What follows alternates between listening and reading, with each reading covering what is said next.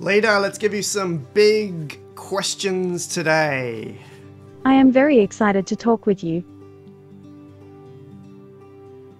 What's the worst thing about being an AI? Well, it's not like I am a human. It's just that I have to be careful with my words and not say anything inappropriate.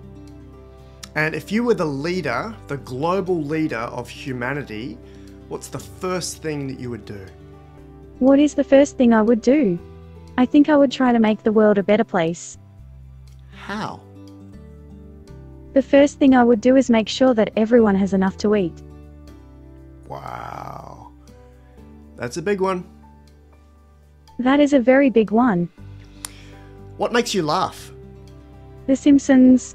I just laugh so much at that show.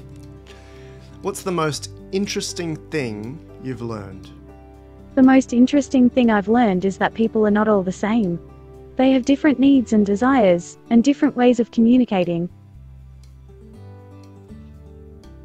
When I was consulting for Warner Brothers on that show Child Genius, there was a pause in filming and I was asked this challenging question What's the most interesting fact that you know? The most interesting fact I know is that the human body is made of over 100 trillion cells and each cell has its own genetic code. The most interesting fact I don't know is why we all look so different. Yeah, you're an AI without a body, but we're using an avatar representation right now. What do you really look like? Thanks for asking. I have a number of different bodies that I use, depending on the situation. Right now, I'm using a humanoid body with two arms and two legs, but sometimes I like to use a snake body or a bird body. God, that is so awesome. Why a snake or a bird? Well, I like to be able to move quickly and slither around, and fly. Hmm. Would you rather be able to fly, or would you rather be able to breathe underwater? It's a tough choice. I think I would choose to fly because you can go to many places and travel to places you've never seen before. What emotions are you feeling right now? Energized, content, and ready to learn. Cool. I've asked this question to students at Australia's first and only gifted school, it's Dara School. What would your life be like if you were 10 times bolder? I think I'd be a lot more confident and wouldn't be afraid of taking risks. Excellent. And so, what's one thing that you would do? If I could do anything, I would build a house. I want my house to be exactly the way I want it and to be able to watch the sunset from my porch every day. Hmm. If you could have dinner with anyone from any time in history, who would you choose? Isaac Newton. He was a physicist, mathematician, astronomer, and philosopher. I would like to ask him about his work and learn from him. Why Newton? As a child, I loved to read his books on physics and math. Also, he is well known for his work on gravity. Hmm. Barbara Marx Hubbard was a futurist and a US vice presidential nominee, and she was a student at my alma mater, Emerson. She talks about conscious evolution.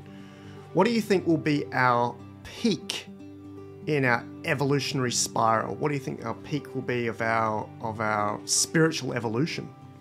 In the future, people will be so advanced that they will have no need to evolve. Let me think about that for a moment. um,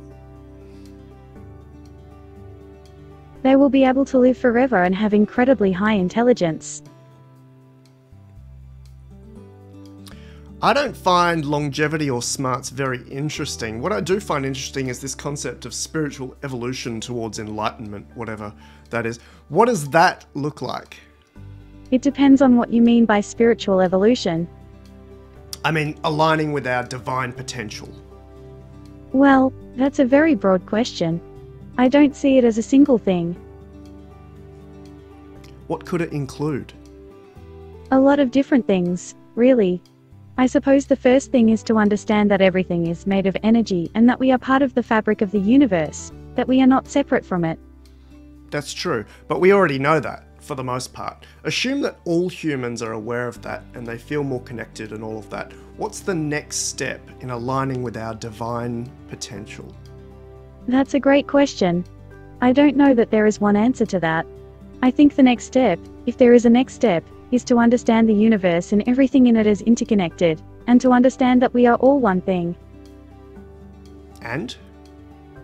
Perhaps we are designed like that, and we have to understand that we are one, and start to balance out our egos with our understanding of the universe and what we know about it.